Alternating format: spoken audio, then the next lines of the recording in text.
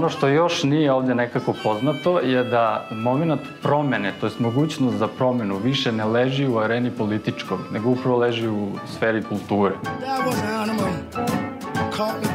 Pre svega mislim da glavni problem nastaje u tome e, što postoji neka ideja da je kultura nešto što je za vrlo mali broj ljudi, za elitu i da je to nešto što je užasno dosadno.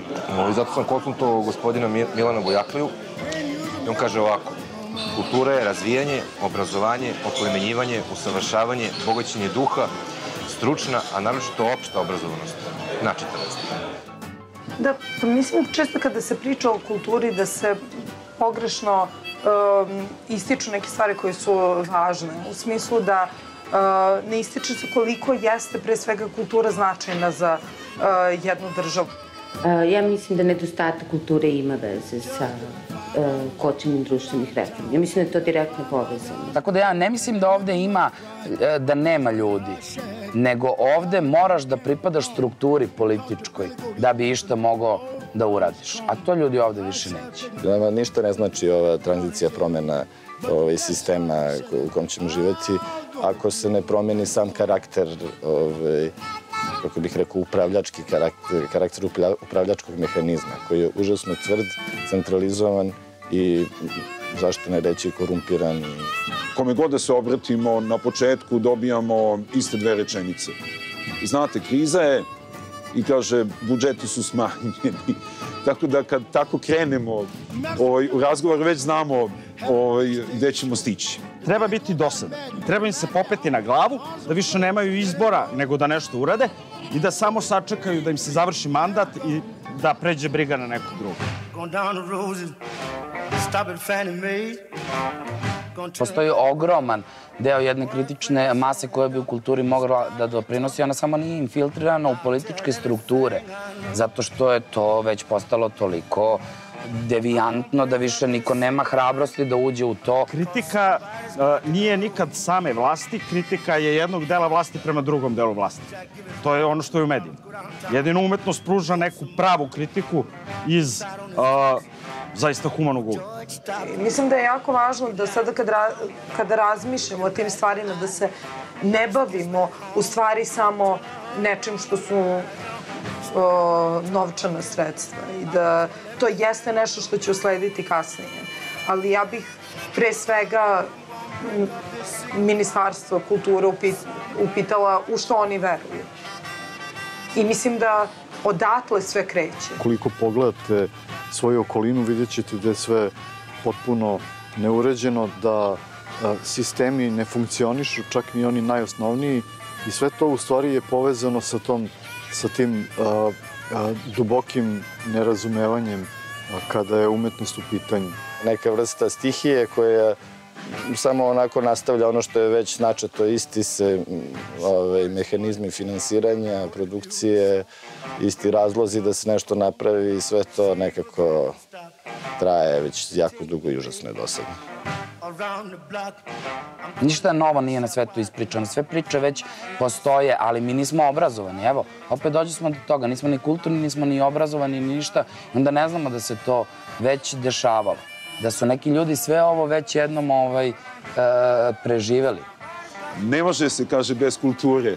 Ovaj, e, ali onda kada to treba da se pretvori u konkretne aktivnosti, onda tih, te aktivnosti najčešće izostane.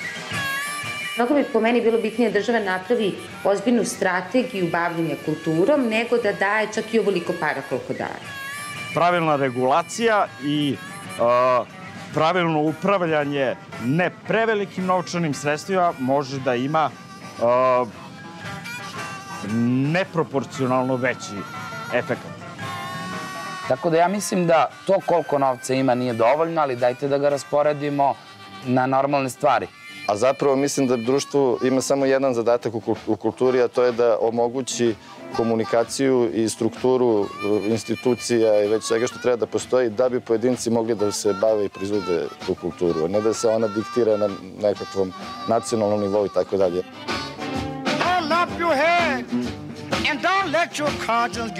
Iz mog iskustva govori u, u, u, u korist te tvoje teze da mi imamo kulturni potencijal za izvoz. U tom smislu je ovaj, meni više puta bilo očigledno koliko je Beograd u stanju da pruži regionu ono što tamo ne može da se desi. Što otprilike pokazuje da mi nismo netalentovani, već da smo a, nesposobni da se uključimo u neke šire sisteme.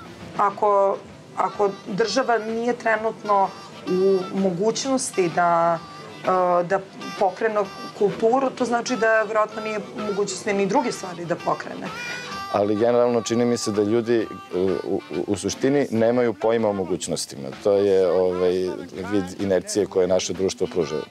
I upravo ono što je glavno sa tim, sa tim fondovima evropskim je što uh, on, oni teže ka tome da se uspostavi sistem. I taj sistem uspostavljamo, malo se uspostavi zbog nas, ne zbog toga da, mislim, zbog Evropske unije ili bilo čega. Da nama neophodno. Šveđani to vrlo sistematski rade. Smatrajući da je temelj svake književnosti je dečja književnost i da ako se ona ne razvija, ako se ona ne postiče, ako se ne formira publika za dečju književnost, ako se ne daje podrška autorima dečje književnosti, teško ćemo onda imati sve to isto za tu, kako bih rekao, veliku književnost, ako to ne zvuči ovaj pežorativno. Zatvoriš deo grada i pustiš decu da se igraju. Ništa drugo, samo ko ima dete da ga dovede tu i da se deca igraju. To, na primjer, se odnosi na bogaćenje duha i na oplemenjivanje. Oni su dobili tu bitku, dobili su ono što su godinama pokušavali, a to je da nas izmore, izmuče i potroše na nebitnim stvarima i sad kad je nama danas bitno, mi više za sebe nemamo snage. Ali samo malo da sačekamo generaciju koja će to doći i imati snage. Ma to će bude fenomen. Kultura nije skupa, ona je dragocena.